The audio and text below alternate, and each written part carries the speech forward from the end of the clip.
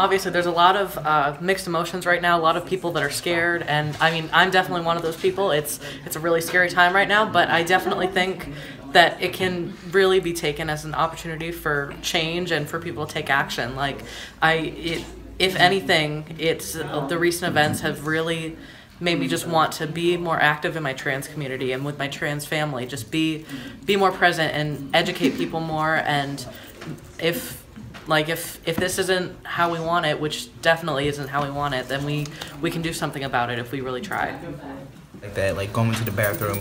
Is not just about going to the bathroom. It's, it's deeper than that. It's this feeling that i'm labeled as other so i'm not allowed to use this facility that you know i identify with or things like that. And you know most trans uh, people feel unsafe in their bodies. Mm-hmm. and the fact that you know now you're around a community that, that sees your your body is unsafe also.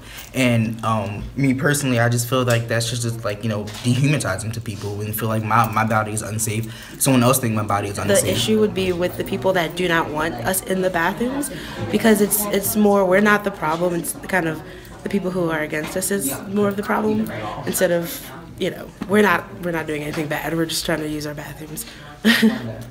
concerned about the fact that some trans students may not feel like they're getting the support they need at school, which a lot of trans kids don't get enough support at home.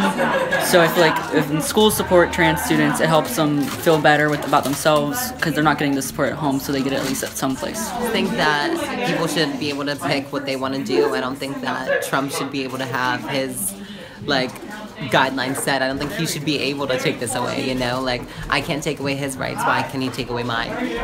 We need to create a safe environment for all students um, and just to make sure they feel accepted um, because it is very important. I still feel like a little bit worried um, like about how that will play out in the future.